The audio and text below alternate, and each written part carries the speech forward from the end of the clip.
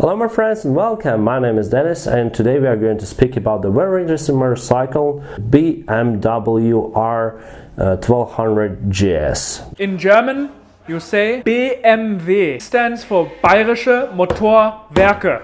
Yeah, it is not a funny term. It's not to make go and fun, laugh, ha ha ha. Okay, let it be BMW, but today we are going to speak about this motorcycle in particular, the new one and why I don't like this motorcycle. I don't hate this motorcycle, but I think this motorcycle sucks and I don't like it and I think you don't need it for the motorcycle adventure trips. Probably I will have lots of dislikes on this video, but if you were my channel before, probably you might seen the video where I was test riding the BMW GS 1200. I really liked this motorcycle by that time so I wanted this motorcycle to be my next uh, enduro motorcycle. I have the Honda VTX, it's a cruiser motorcycle, and also for me, I want a second motorcycle, it will be some kind of adventure enduro motorcycle. I like this motorcycle by that time, but after some research, I found out this motorcycle is not what I want, and this motorcycle is basically uh, not good for adventure rides. First reason why I don't like this motorcycle is because it's not quite safe and it's always undeveloped. Before in previous versions they used to have the problems with the shaft drive, with the rear suspension. If you use it on a hard off-road, sometimes it just broke, can break apart.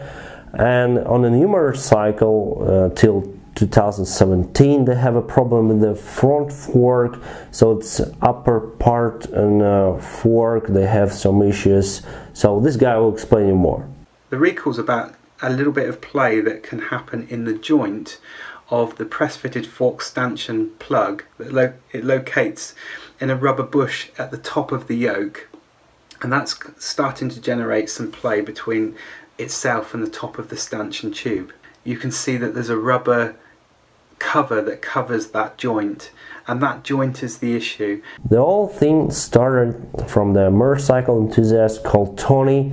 So he filmed the video. It's uh, free on YouTube. You can watch it uh, so he was riding his motorbike and his fork just torn apart while the riding on the road. so he fell down he broke his ribs other bones and he was in a hospital for a very long time he was writing to the many letters to the BMW asking for some kind of compensation and state that their motorcycles are undeveloped and the fork construction was undeveloped and it has the problem that can lead to damage of the motorcycle for injuries and even for death. The BMW was ignoring uh, these letters from Tony. So Tony asked everyone who is involved in this accident to write petition, everyone who is concerned about the BMW products. He asked everyone to write the petition, to sign it, and to send uh, to BMW. After this all hype raised about this all around this BMW GS forks, the BMW managed management uh, started to realize that they have a problem. So before they didn't recognize, okay, one might crashed, what hell happened? Nothing. We have a beautiful bikes, but then everybody appeal to this problem. They start to recognize it and they recall all the motorcycle. They recall all the GS till uh, 2017 year of production. They installed a different metal thing there, as you can see here on a picture so they replaced the rubber uh, thing with the metal thing and that solved the problem completely. As simple as that. But guys, this is a very serious issue and I think the problem is not really solved because you can buy this motorcycle on the aftermarket. You can buy it on eBay, you can buy from other motorcyclists and you can ride it and you will never know the problem other than the internet or someone will tell you that probably you have some problem with your fork you will never know that you will have this problem. Because you are not in direct contact with uh, BMW officials you you didn't buy this motorcycle officially. For example, if you buy the new motorcycle, of course you will have the message from BMW, okay, your motorcycle probably will have a problem, so it need to be recalled and will replace uh, this rubber thing and all, and you'll ride successfully and nice. But many riders buy these motorcycles, um, used motorcycles in aftermarkets, wherever and they will never know that they will have the problem. So it's potentially dangerous motorcycle to ride. And also, guys, very interesting thing that then Tony appealed to the BMW. The BMW guys told him that it's his fault that motorcycle just broke apart because he probably hit some obstacle. And last week they sent me a report to say that there was nothing that was the fault of the bike that caused this accident and that it had to do with me having some kind of incident where I must have hit something. It's very funny because the BMW positioned their motorcycle on the market like adventure motorcycles. We know adventure is just around the corner. And no road is not a problem. It's an invitation to go beyond, to go further, and to come back changed. Uh, I will put the screen. Now you can, it's a print screen just from their official website. It says this motorcycle can ride asphalt, off-road, uh, rocks or stones, as I understood from this message. And also, if you look at their commercial videos, of course, you'll find out this motorcycle for adventure rides. Tell me, guys, if you ride this motorcycle off road, will you hit some obstacles? Of course, you will hit some stones, holes, like every adventure ride you will hit some holes you know it's not the road motorcycle it's off-road as BMW positioning so it's very strange then they're telling you you, you are not right you maybe hit some obstacle before so it's your problem. It's very, very unrespectful, I would say, for the riders. So guys, uh, that's the second part of our video. You may say that if I go now to the shop and I'll buy the BMW GS uh, R BMW R 1200 GS from the shop, it will be completely safe. Of course it is. Now they're putting this uh, metal thing everywhere on their forks and it is very very safe to ride now if you buy the new one. But uh, tell me guys, this is adventure motorcycle and it has some problems with adventure. It's not really I think for adventure. I was asking my friends and everyone who is riding uh, smaller motorcycles, and they agree with me that for adventure rides it's not the best choice because this motorcycle is quite heavy and the heavy weight is the last thing you need for adventure rides. You are not buying adventure motorcycle to ride on highways. BMW GS uh, 1200 has uh, the powerful engine.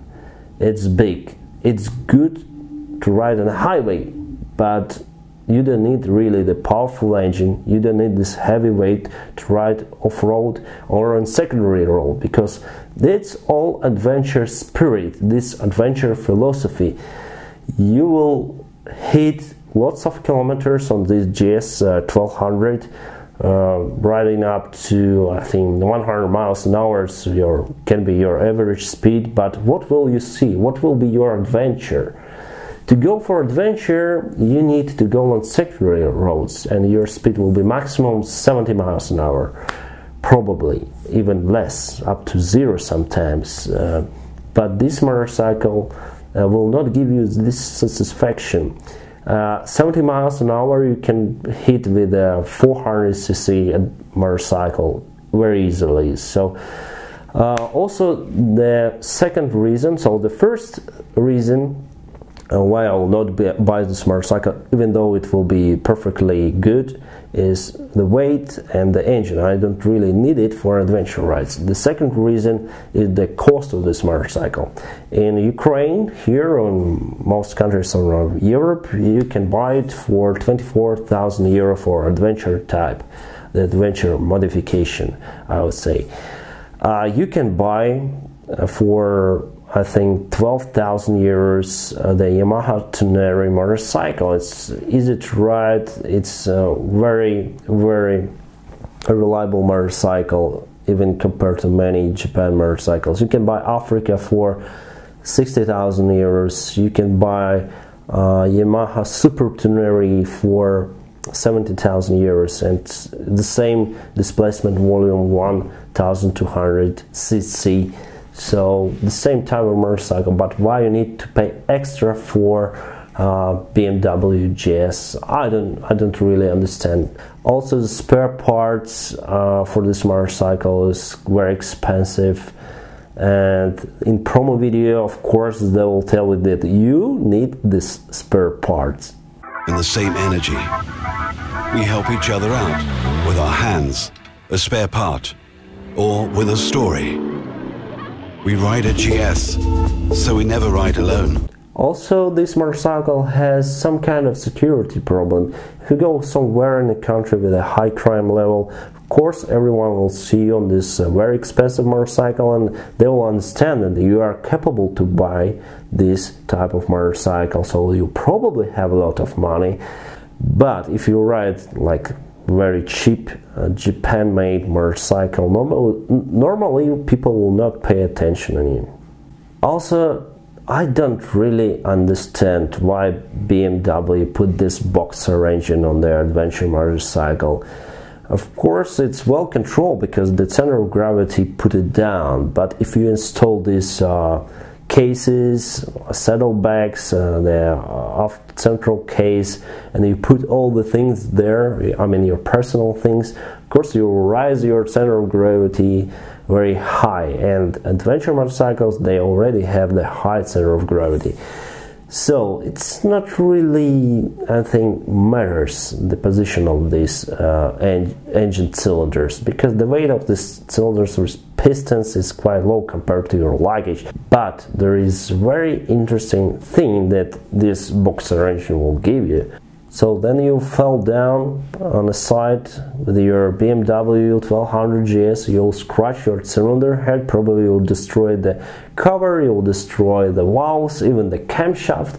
The good thing in it that the other cylinder will be still working, so you'll have 600cc adventure motorcycle. Of course, for this type of engine, you need to install the safety bars, which will give you extra weight, extra weight for the heavy enduro motorcycle. Also, one more reason why you don't need this huge engine and this big motorcycle. The fuel consumption on this uh, 1200 GS is high and you need to have the good range. So you're reducing your range with the high consumption of your engine. To compensate this thing, they installed a bigger tank on this motorcycle that add some extra kilograms to your overall weight. If the price of this motorcycle was around $12,000, probably it would be worth it and I'll probably start looking for it because I really like the design and the look of this motorcycle. Uh, all these forms, you know, I really like the style of this motorcycle. But now I'm looking for a little brother, BMW GS 800. I think it's more oriented for adventure as BMW position this motorcycles type of motorcycle GS. I'm looking for um, 800 version and also I'm looking for Honda Africa and there will be coming the new uh, Tenere T7 now. The Yamaha Tenere is coming soon. So I'm choosing from these three types of motorcycle to become my next uh, adventure enduro motorcycles to see the world around me and also guys I suggest to you to look for the lower cc motorcycles because uh, the Ducati Strada, the KTM Adventure 1190, the BMW 1200 GS. I think it's all just, uh, I don't know, advertisement for you to buy these big expensive motorcycles because they don't really give you more they are not adventure uh, motorcycle if we speak about the adventure philosophy mostly the owners of these uh, motorcycles they can do what they usually do on Honda Goldwing, on uh, Harley Davidson, and many other types of normal usual motorcycles because they always ride on the highways, most of them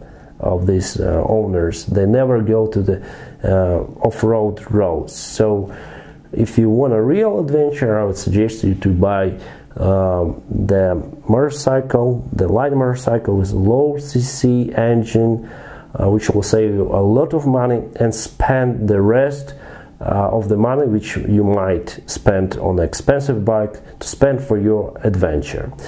So now guys, I hope you enjoyed this video. Put me like or dislike if you're BMW fan and you like BMW GS 1200 you can put uh, this finger down. It's your choice but I really, really like this motorcycle. I'm not saying this is shit motorcycle. I'm saying it, this motorcycle is not for me. It's not for adventure. It has some issues and other stuff. So I hope you enjoyed this video. Like it if you want and have a good time